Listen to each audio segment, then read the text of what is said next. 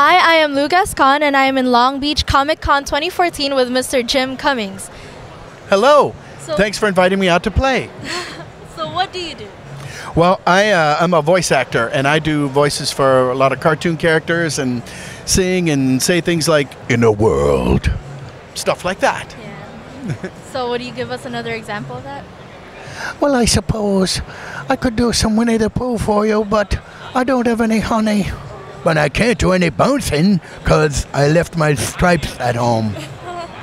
So, how big is creativity to you? Well, I think, uh, well, creativity is everything to everybody, I think, because uh, without creation, uh we wouldn't be here. But, uh, but you knew that.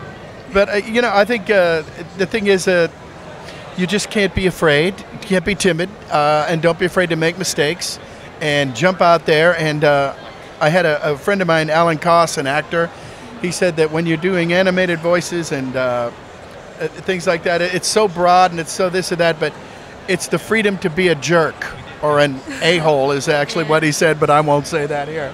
So uh, you, know- you know, and if you, you do it enough and do it right, it, it seems to work out, I guess. So, you know, it helps to uh, be a little fearless, I think.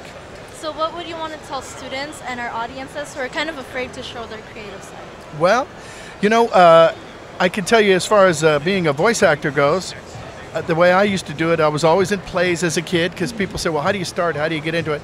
I was always in plays and I'd be 10 years old and instead of wanting to be the, the little prince, I'd, I wanted to be the, the monster or the ogre or the wizard because it was, you know, a little more something to sink your teeth into. And I was always in those plays as a kid and in music, uh, musicals and, uh, and, you know, I used to do uh, impressions of my relatives who were not famous, but they were good impressions. So that was like a new character. And if you do an impression of somebody that's everybody knows, very famous, and it doesn't sound like them at all, that's a new character too. Because so you know, so uh, you know, you can just put them in your little mental Rolodex and go back and and pull them out when you need it. That's that's how I did it, and uh, I didn't know that it was supposed to be tough to break into, so I just bl- blundered in. So uh, that's one w- good way to do it. They, you know, they say go hunting with a shotgun. So, you know, they weren't waiting on me when I showed up. So jump in and do it. Everything is honey, everywhere I see. Everything is honey, and that's quite alright with me. Oh, it's a dangerous path I bounce, but I bounce it alone because the hundred acre wood needs a hero Pooh Bear, and I'm the only one. So, um, what are your current projects right now? Well, let's see. There's uh, Goldie and Little Bear, uh, which is a continuation of the Little Red Riding Hood story. Uh, I play the big bad wolf. Uh, I, I play bad guys too. Uh, it's okay. And uh, Gnomeo and Juliet 2. Uh, I, got, I think the working title is Sherlock Gnomes.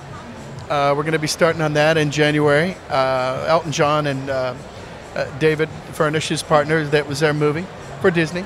A new movie coming out with John Cleese and a bunch of other people animated called Animal Crackers.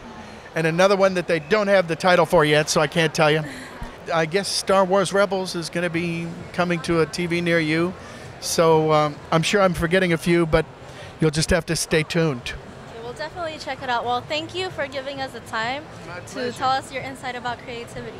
Well, thanks, Lou. Thanks for coming out and hanging out. Thank you. And stay just as bouncy as you can. TTFN.